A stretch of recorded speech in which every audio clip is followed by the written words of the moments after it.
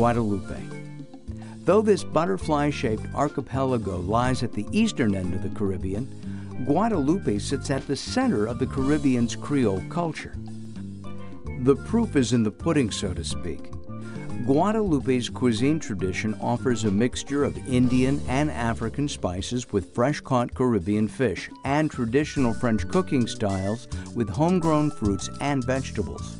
Must tries include the deep fried cod fritters and crayfish prepared in court bouillon. Guadeloupe's Creole culture is perhaps most evident when the locals take to the streets in song and dance. It's not unusual to find the streets flooded with activity, from the two month long Carnival during January and February to the Savor Cacao Festival that celebrates the island's decadent crop of chocolate during the third week of April. And after you've enjoyed the active life, there are plenty of hotels, spas, and beachside chateaux focusing on the art of mellowness. Forget touristy resorts and think authentic. Head to the beachside La Toubana for panoramic views and a chance to take in the tranquility of the French Caribbean.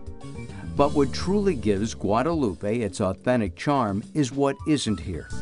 You won't find a built up tourist industry, but you will find plenty of places to hike and explore.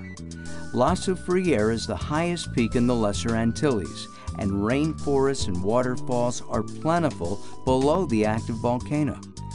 Nature lovers will keep coming back to the Parc National de Guadeloupe. Over 50,000 acres of protected rainforest, coral reefs, and mangrove swamps. And with several direct flights every week from the U.S. to Guadeloupe's main city of Pointe Pitre, there's little reason not to plan an escape.